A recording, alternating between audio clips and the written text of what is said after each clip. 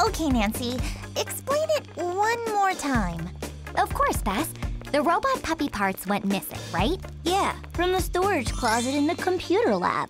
We followed the clues from art class to the library to the cafeteria, where Chloe found a part covered by cardboard and papers. So, what's next? Just listen.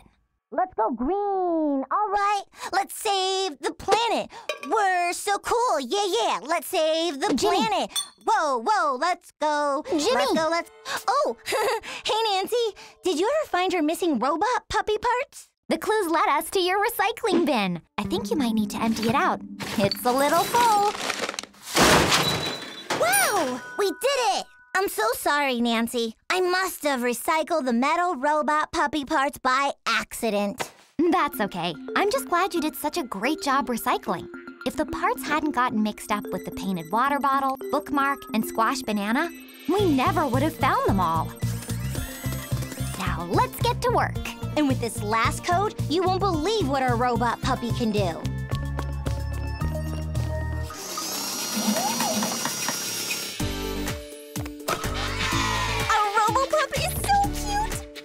Bow?